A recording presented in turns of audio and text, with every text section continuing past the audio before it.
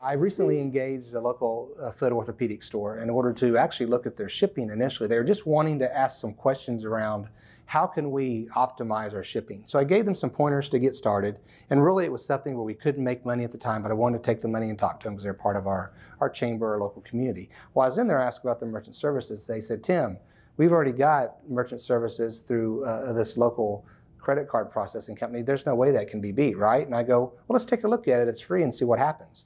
Well, whenever we came back, we actually saved them uh, 28% on their credit card fees. So they were amazed that we, we did that. And then we, Kelly and I actually took the time to go in and hook up their machine for them when it came in, make sure they were comfortable. But to save 28% when you think that the, you have the lowest rates is pretty incredible. And then whenever you see them doing the math in their mind, thinking, I've been with them for four or five years and I've overpaid by this much every month, it's really, uh, it's really a neat service that we offer to our clients.